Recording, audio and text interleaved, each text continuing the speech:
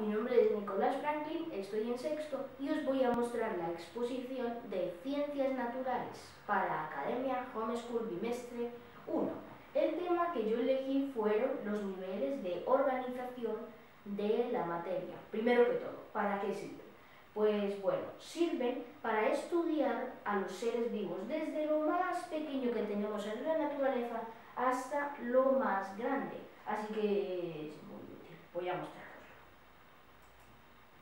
Bueno, tenemos el nivel subatómico que simplemente trata de las partículas más pequeñas que podemos encontrar y es el nivel básico. Está consistido por los protones, los neutrones y los electrones, que como indica su nombre, subatómico, son como antes del átomo, así, los que conforman el átomo. Entonces, pues, son las partículas más pequeñas que podemos encontrar en la ciencia y la base de todo lo que está hecho. Todo está hecho por átomos de algo, ¿sabes?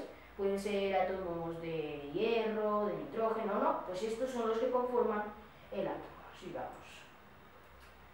Nivel atómico, pues bueno, aquí tenemos un átomo, más o menos es así, este es un átomo, un átomo normal, y pues aquí tenemos los electrones, protones y neutrones, ¿no? Entonces, de los que os hablé Entonces, nivel atómico, atómico viene de átomo, ¿no? Porque ahora está, eh, eh, consiste en simplemente átomos. Pueden haber átomos de carbono, de oxígeno o de hidrógeno, bueno, los más principales son estos tres y otros, y pues bueno, es el nivel básico de todo lo que está formado.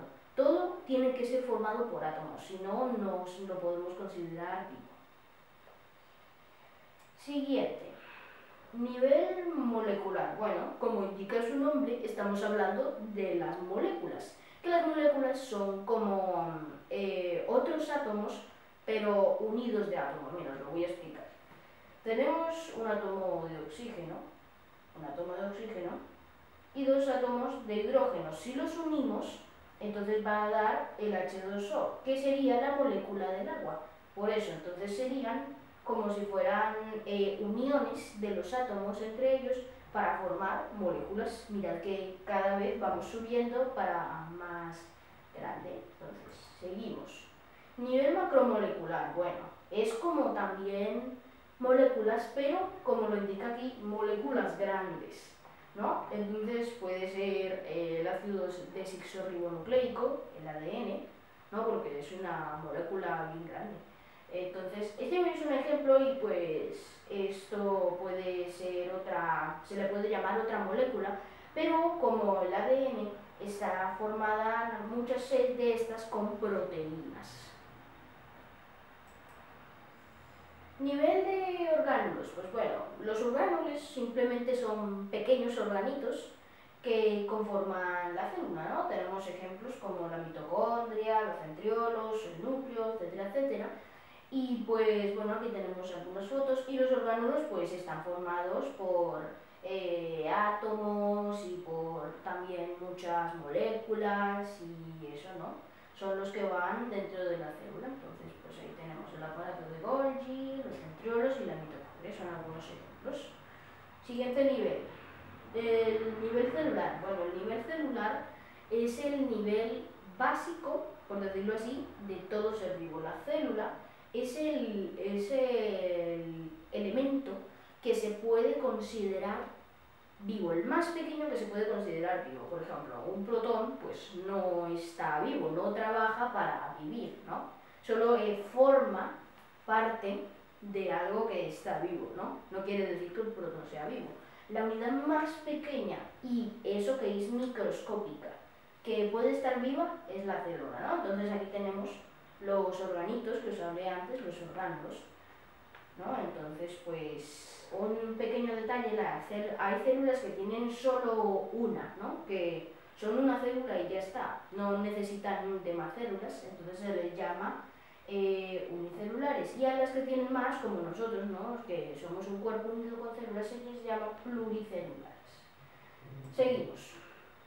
Nivel de tejidos. Bueno, los tejidos básicamente son conjuntos de células iguales que se unen para hacer una función, ¿no? Por ejemplo, tenemos el tejido muscular, no estamos hablando de un músculo en sí, no estamos hablando del bíceps, por ejemplo, estamos hablando de, digamos, un tejido, una partecita del bíceps, porque son, el bíceps está compuesto de células musculares que pues eh, se unen por tejidos, ¿no? Entonces, pues al unirse por tejidos, pues están haciendo como una telita, ¿sabes?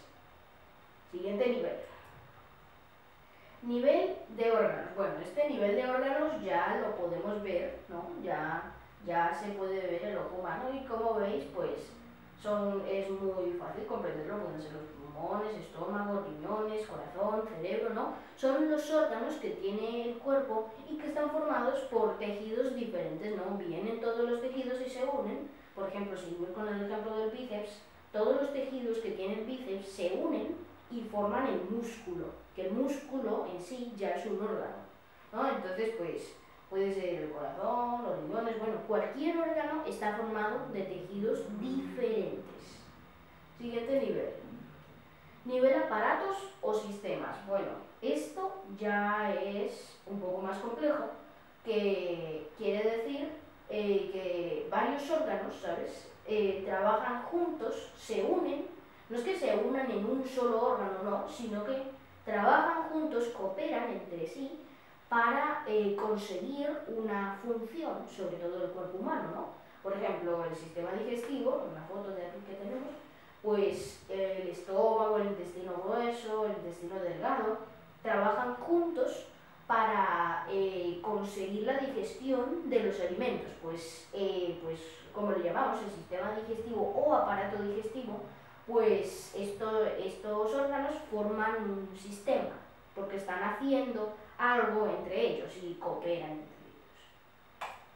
Siguiente nivel, nivel individuo. Bueno, aquí ya estamos hablando de nosotros mismos yo, tú, eh, un señor, una señora, bueno, un individuo. Y no necesariamente tiene que ser una persona, puede ser un animal o una planta también, ¿sabes? Entonces, eh, un individuo es prácticamente un ser vivo que es independiente de los demás, ¿no? Yo, pues, yo no necesito ayuda de, de alguien para caminar, ¿no? O yo no hago un proceso que tenga que ser vital para mi vida con ayuda de otra persona.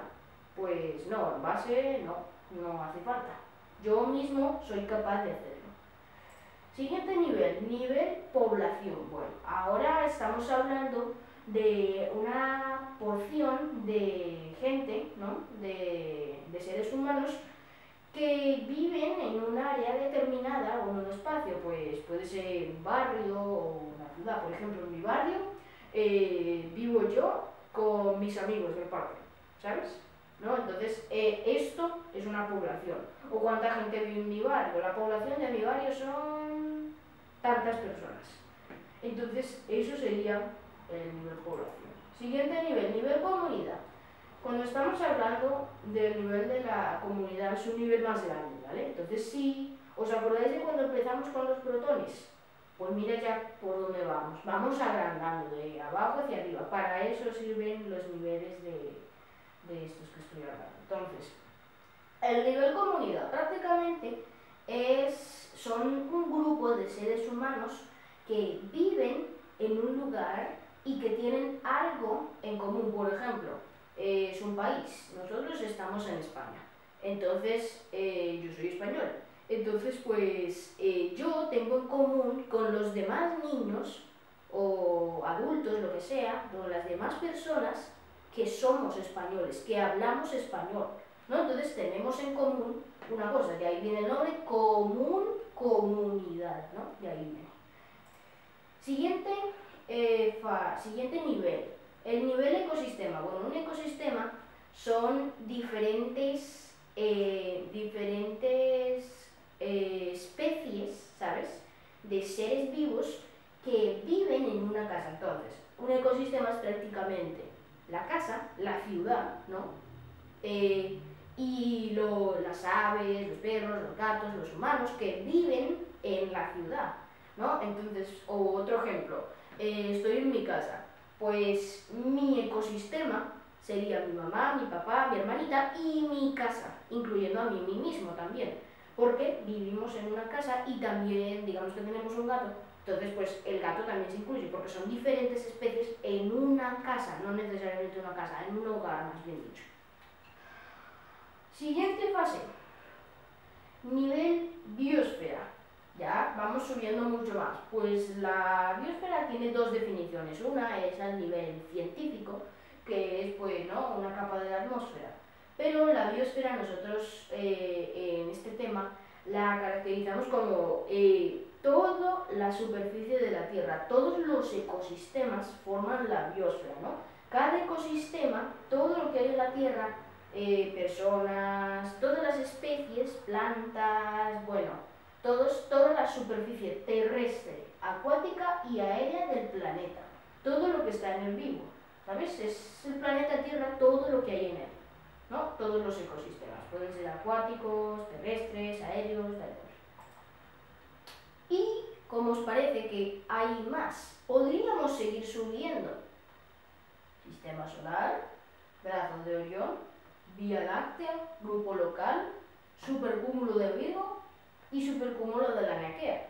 O sea, estamos en una estructura en el espacio muy grande y pues desde ahí no sabemos más de lo que el Señor ha creado, ¿no? Entonces, lo único que podemos hacer al ver su magnificencia, al ver su grandeza, al ver lo maravillosa que es su creación, es postrarnos y adorarle, humillarnos porque somos tan pequeños y entonces, pues yo eh, me imagino que el Señor, eh, la Biblia dice que las naciones caen como gota de agua en su mano. Hmm. Así que nosotros no nos podemos ni imaginar cómo es el Señor de grande, de poderoso, de sabio. ¿No os acordáis de los protones, de lo pequeños que son, que no los podemos ver ni microscópicos? O sea, eh, desde lo más pequeño hasta lo más grande, el Señor es súper poderoso y nos ha elegido a nosotros, que la Biblia dice que somos como el polvo de la tierra, que nos ha elegido a nosotros para eh, ser sus siervos, para ser su pueblo. Y tenemos que valorar mucho eso. Les ha hablado Nicolás Franklin y Dios los bendiga.